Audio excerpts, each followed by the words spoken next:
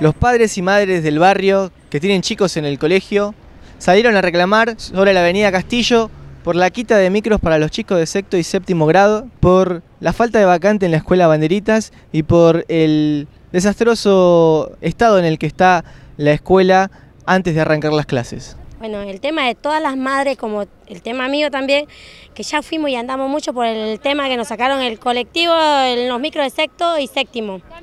Y teniendo la nena, supuestamente nos prometen la sube, que recién hoy nos enteramos que nos cubre cuatro boletos. Tantas cosas que te prometen, nos sacaron la salita. Nos sacaron el plan fine, eh, la escuela, donde nosotros en la noche vamos y estudiamos. Es que está eh, en el mismo barrio que donde prometen tantas cosas que van a cumplirla, y hoy se ve que la sacan.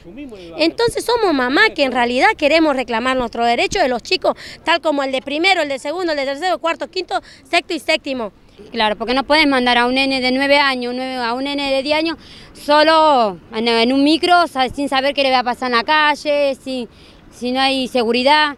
Encima, no solamente por los micros, por la escuela banderita, que es una vergüenza, la mandaron acá al correo, donde no hay, no hay un, digamos, no hay seguridad, se cae algo del correo. ¿Quién no va, quién no va a quién no va a devolver a nuestro hijo si se le pasa algo? Por el simple hecho que trasladaron, demolieron un colegio en un cierto tiempo y no han podido establecer a los niños que, que, iban a ese mismo colegio a un polo, a un lugar, a un galpón que está ubicado en el barrio de comunicaciones.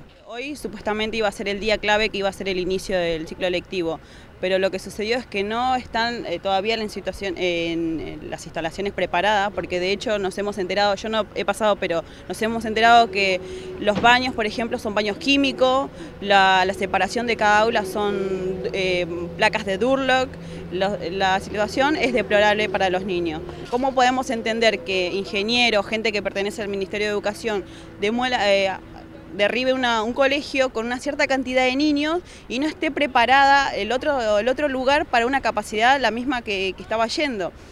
La verdad que a nosotros nos parece importante esto, remarcar y apoyar ya sea porque una mamá no haya tenido el micro o sino porque no han quedado vacantes. Lo único que te hacen es elaborarte un acta o hacerte un informe, cosa como para que tranquilizar el momento y ya después uno se queda a la deriva de la nada. Y en mi caso se me complica porque yo tengo la nena de secundario que sale más temprano y los dos de primario. Cuando tenía el micro yo me arreglaba tranquilo, pero ahora no.